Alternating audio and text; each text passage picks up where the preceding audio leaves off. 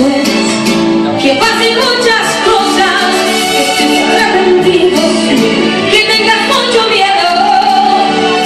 Tenemos una emergencia, perdón, perdón, ahí, la canción, pero tenemos que